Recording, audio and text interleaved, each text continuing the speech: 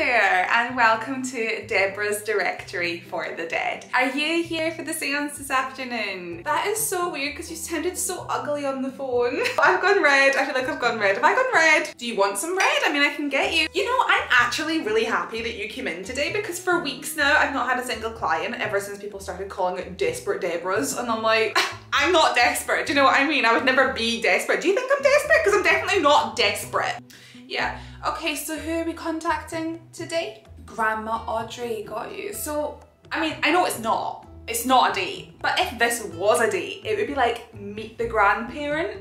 She's telling me to tell you that you need to be more aware of what's in front of you in life. Yeah, the full picture. Is there a job right in front of you that you're not taking? Is there a car about to just ram you over? Or are you sitting directly across from someone who could be potential life.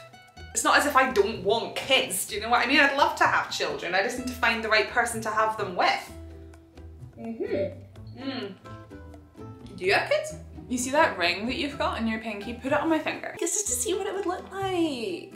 God, look how much that suits me. Doesn't that just feel right? Your grandma was a really big part of your childhood and you really wanna... Yeah, no, no, I get that. Um, this might be a bad time to ask, but have you ever played spin the bottle? This was her ring. It's so big on me. She must have had like little sausage fingers. I mean, I don't need a partner to complete me. Do you know what I mean? I don't need, I don't need one. I really, I don't need one. Yeah, you're right. I should be working. Uh -huh. Put your hands over mine. Oh my goodness, they're really soft. okay, okay, back to your grandma. The third wheel. She is a cheeky, cheeky girl. She's telling us to kiss.